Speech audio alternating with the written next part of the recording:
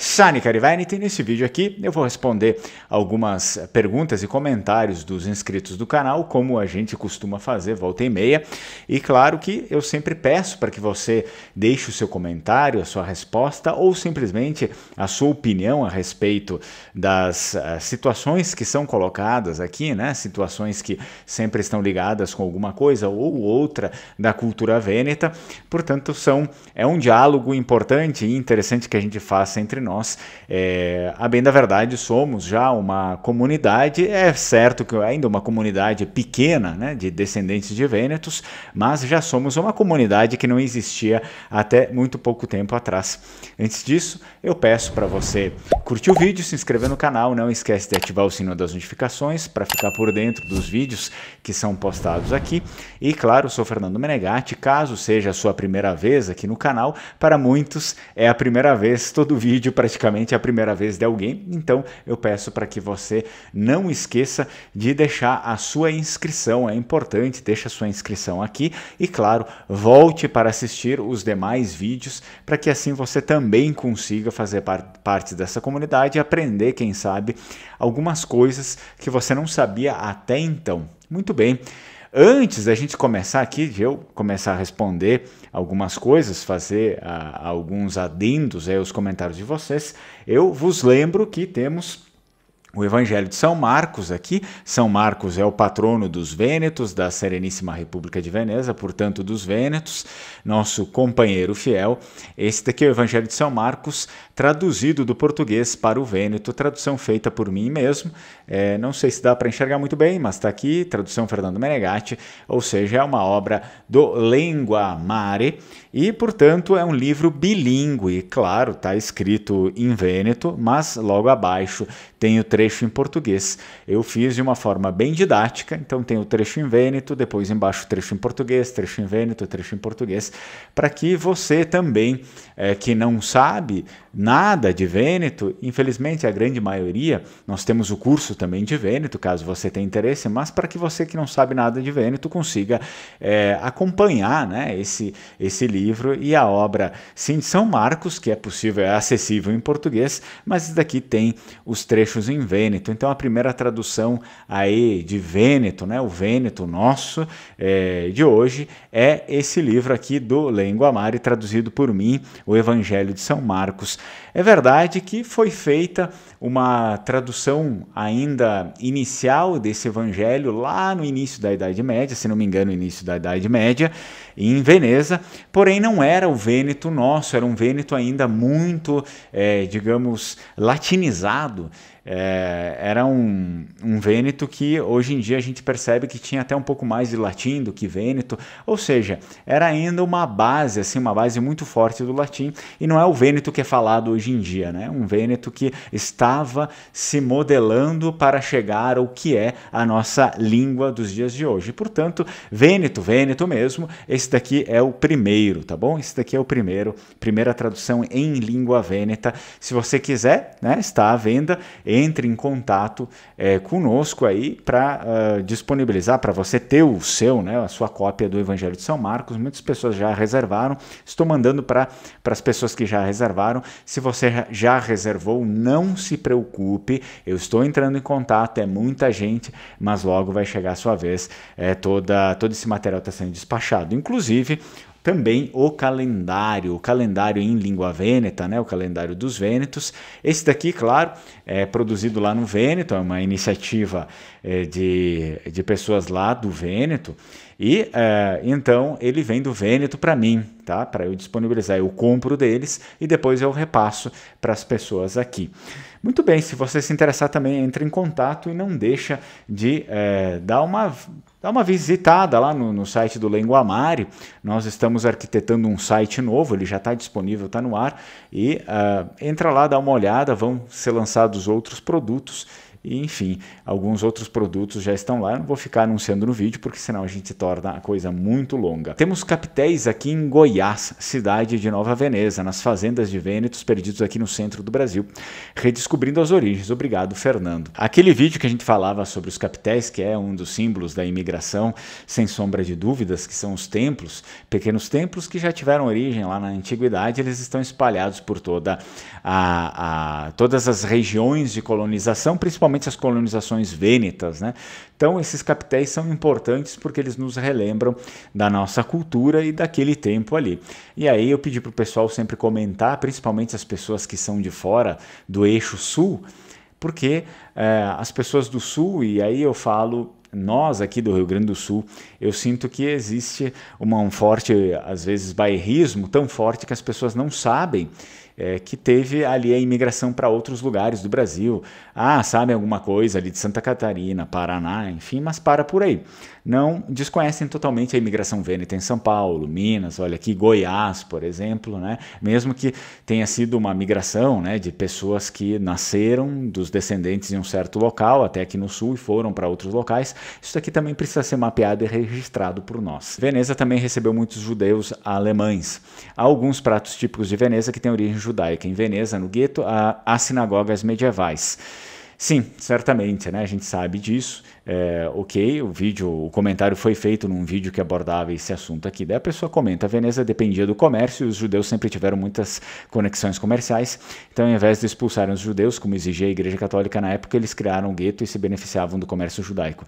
Também é verdade, eles tinham vários, é, vários empreendimentos e, claro, o empréstimo também muitas vezes facilitava algumas, algum lado comercial.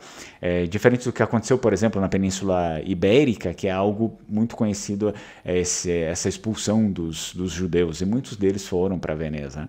Em algumas épocas, a elite da República de Veneza sentia-se ameaçada pela liderança da Igreja Católica e usava da diplomacia para lidar com essas ameaças. Também é verdade, quando a gente for estudar a história da República de Veneza, que é, existia um certo medo político, na verdade, é, de é, a, a, República de Veneza não gostava da ideia que eles se tornassem um Estado pontifícios. Eles apoiavam que o Papa deveria ter os seus estados, apoiavam os estados pontifícios, com certeza. É, é claro, óbvio, teve guerras e brigas também, mas eles apoiavam sim, mas eles não queriam que o poder papal, ou enfim, o poder político, na verdade, papal, interferisse tanto no poder político da República de Veneza, que era uma república à parte, separada. E, portanto, eles é, não significa que eles desobedeciam o Papa, em grande medida não. E é, nem significa que eles eram contra o Papa, mas que é, sempre que acontecesse alguma ordem de Roma, não, é, isso não queria dizer que eles iriam obedecer 100% daquele jeito que é, fosse mandado, mas sim eles iam dar talvez uma outra solução para executar do mesmo modo. Eu faço um exemplo aqui das inquisições. As inquisições, então, o que acontecia? Existia ali um tribunal, o tribunal ele era feito por membros da República de Veneza e também por membros de Roma, claro, certamente, né, o clero é, importante de Roma. E uh, o que acontece é que eles davam toda a oportunidade ali para as pessoas que tinham, enfim, ideias hereges ou mexiam com esoterismo e práticas ali que eram denunciadas, que não eram simplesmente, enfim, conhecimento, ciência, mas que tinham alguma coisa ligada por trás, né? É, e então, a partir desse momento que a pessoa não queria se render ou não queria, enfim, pedir desculpas e mudar, aí essa pessoa sofria assim a condenação da Inquisição. Por, mas na verdade eram vários julgamentos, né? não era só um julgamento, acontecia vários julgamentos para que a pessoa tentasse, é, assim, pelo menos entrar em um acordo com a igreja. Olha, é, você pode continuar fazendo tal até aqui, mas isso daqui já é esoterismo, isso aqui já é uma outra coisa que vai contra, né? vai contra a doutrina da igreja e, portanto, não cabe que você faça isso em terras cristãs cristãs. E a pessoa muitas vezes não queria ali dar o braço a torcer e seguia até o final, e aí era condenada, a lei era clara, né? Contudo, na República de Veneza não se queimava pessoas. Né? Isso daqui já foi uma decisão também política é, do Doge, principalmente, do, do Senado Vêneto, né? do Conselho dos Dez, que era uma coisa assim. É, um pouco agressiva para eles, que eles não queriam, é, eles, eles tinham esse medo de escandalizar a população, né, de ficar queimando as pessoas em praça pública e tem um clima muito desfavorável para o governo também, né, óbvio, existia esse lado, essa preocupação muito política, de, é, poxa, né, aí ah, vai ficar feio para minha imagem como, como, como político também. O que acontecia? Eles aplicavam a pena sim, não significa que não existiu Inquisição lá, eles aplicavam a pena, mas a pena era escondida. Ah, a pena, ao invés de ser na fogueira, eles afogavam a pessoa à noite. Então, a pessoa que era condenada era levada para uma lagoa, se fosse Veneza, ou para um rio, alguma coisa assim, em outros lugares e eles afogavam, davam a sentença e afogavam a pessoa ali. Então era o próprio Estado, era uma uma pena capital aplicada pelo Estado. Os agentes do Estado iam lá, né, na pessoa, a pessoa estava presa geralmente, levavam para um lugar escondido de noite, matava a pessoa nunca mais aparecer, pronto, segue a vida. Então, mas é, é só para deixar essa coisa, né? Porque muitas vezes quando a gente fala que a República de Veneza sentia-se ameaçada pela liderança da igreja, parece que eles não colaboravam com a, igreja, com a igreja, eles não executavam as coisas que a igreja mandava. Executavam em grande parte, mas muitas vezes do seu modo. Eu acho que o nosso português é muito parecido com a língua vêneta, o português que falamos em São Paulo, capital Curitiba, e em muitas cidades de Santa Catarina e Rio Grande do Sul. Eu sou paulista da Moca e consigo entender melhor o, o dialeto vêneto do que o italiano standard. Bom, eu também concordo, isso, claro, existem, existe muita influência do vêneto na, no português, né, principalmente aqui no sul e como é, a nossa inscrita disse aqui em São Paulo também, enfim, em outros lugares. É, eu só faço aqui uma revisão, né? Porque quando a gente sei que não é de propósito, mas a gente ao invés de falar dialeto vêneto, a gente pode falar língua vêneta ou apenas vêneto. É, porque na verdade essa questão de dialeto, isso começa já é antigo, né? Isso daqui foi ainda no tempo em que o latim era uma língua culta ali, né? Dentro da Península Italiana, e aí então começaram a surgir de um modo um pouco mais exuberante as línguas vulgares na literatura. O que acontece é, é que iniciaram essa, é, digamos, essa separação né, entre o latim e os dialetos do latim. Então, essa palavra dialeto ficou meio que enraizada nessas línguas históricas da Itália, e só o italiano é que se liberou disso por conta do, do Estado, né, do Estado italiano muito recentemente. Todas as outras continuaram sendo chamadas de dialeto.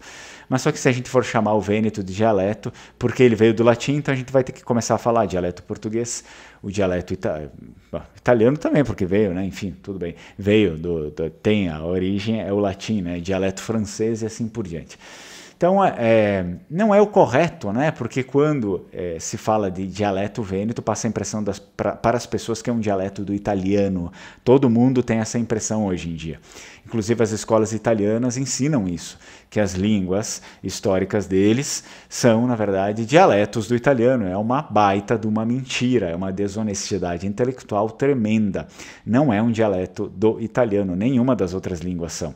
Mas sim seriam é, é, digamos, variações do latim. Aquilo que eu falei aqui do Evangelho de São Marcos, lá que tinha no início da Idade Média, mas era muito latim ainda, e tinha algumas coisas parecidas com o nosso Vêneto, mas era muito latim ainda. Então, isso daqui foi indo, foi indo, até que virou nisso que a gente fala. Assim aconteceu também para o português e as demais línguas. Então, a gente já pode retirar essa palavra dialeto, que ela não faz jus.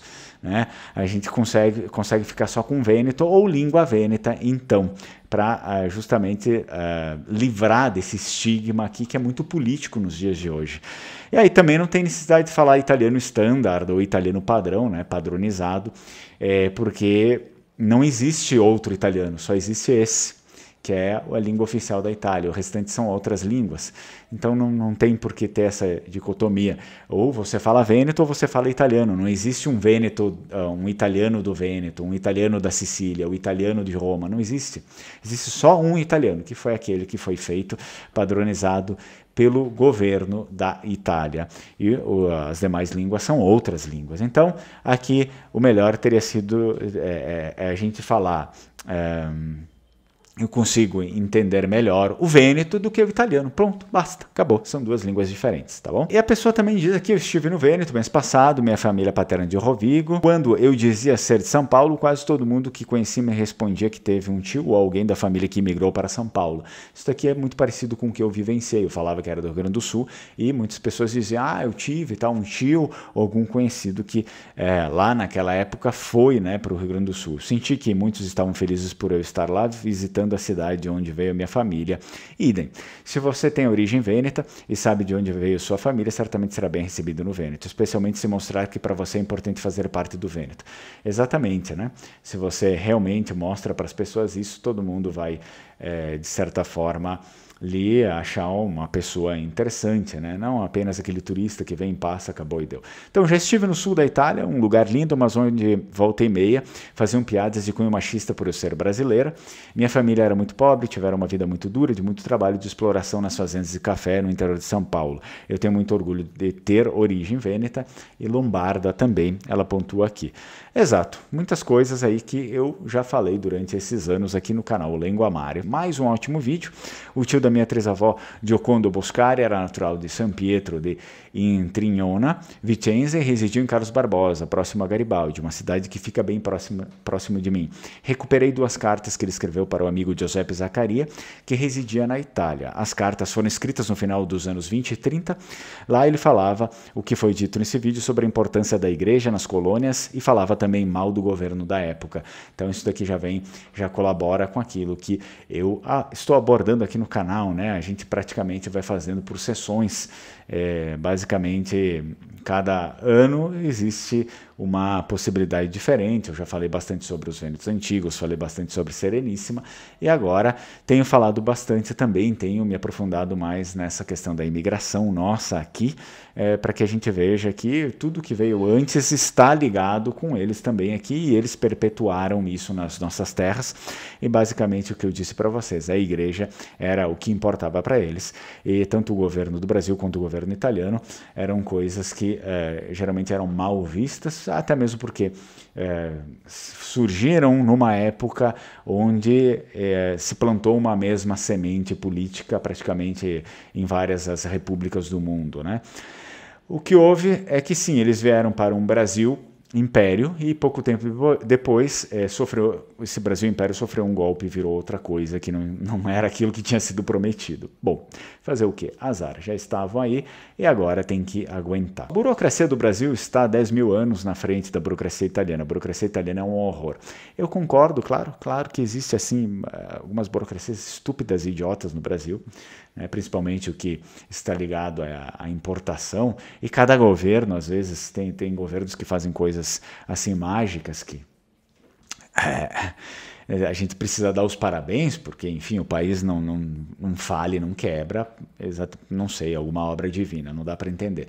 Mas é claro que a burocracia italiana também tem o seu mérito, né? principalmente é, nessa questão da, da burocracia deles é muito analógica, né? Eles não têm, não é muito digitalizado o país. Isso daqui fica muito para trás. O Brasil, felizmente, é a, já uma nação um pouco mais digitalizada. A gente consegue resolver as coisas em um clique e eles têm que ficar indo para os correios. É uma coisa assim que, nossa, meu, é, acaba as pessoas eh, devem, né, a gente presume, então as pessoas têm muito tempo na vida para qualquer coisa, tem que ficar indo para o correio. Né? Obviamente que antes de Roma se tornar uma potência havia dezenas de tribos na Itália que falavam outras línguas, mas foi Roma que uniu a Itália e o que aconteceu na história não pode acontecer.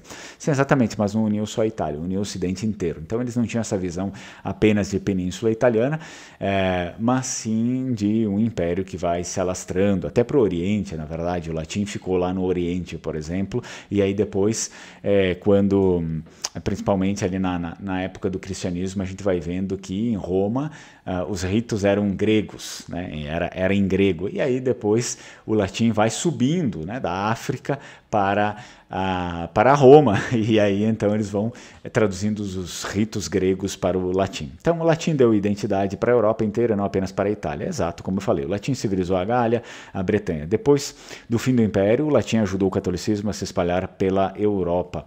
Lugares que viviam um modo de vida tribal foram civilizados por monges cristãos que falavam latim. Sim, certamente. Isso aqui já é uma é, conversão um pouco tardia, é, quando a gente coloca isso, por exemplo, em confronto com os vênetos ou outras tribos ali. Os vênetos já haviam se cristianizado ainda lá no Paleolítico. Nós temos é, em Vicenza uma, uma igreja, é uma catedral, acho, não é? É uma, é uma igreja, né? Enfim, uma igreja, não é, não é o tamanho de uma catedral, assim, mas é uma igreja paleocristã. Então era ainda do tempo dos, dos vênetos antigos, do Paleolítico, né? do final do Paleolítico. É, portanto, haveria ainda muita água ali para rolar até que Roma é, adotasse o cristianismo, uma das religiões, parasse de perseguir, na verdade, o cristianismo e que a igreja então pudesse fazer os seus, seus concílios, enfim, sem perseguição alguma.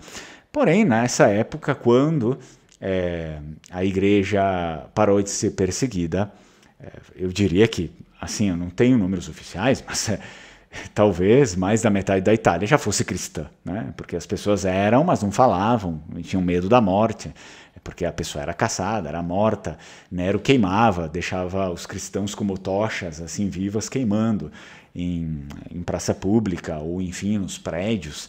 Então era uma coisa que não era todo mundo que estava disposto a isso ao martírio, né? Muito, tinha muito pai de família, enfim. Tá? É, e claro, com certeza. E aí até tem uma tradição antiga que o próprio São Marcos é quem evangeliza os Vênetos, ele esteve pelo Vêneto, mas se sabe principalmente que São Marcos deixou um bispo em Aquileia e esse bispo então evangelizou muitas pessoas. A Europa ocidental foi construída muito pelo Império Romano, é, é o que ficou é, do, do, lastro da, do Império Romano, é esse trecho ainda que nós temos que nós reconhecemos como Ocidente, tirando a América Latina, que foi tardia, mas é esse trecho aí. Bom, espero que vocês tenham gostado do vídeo. Deixe mais dos seus comentários eu volto no próximo para responder aí. Tchau, tchau, Strucon.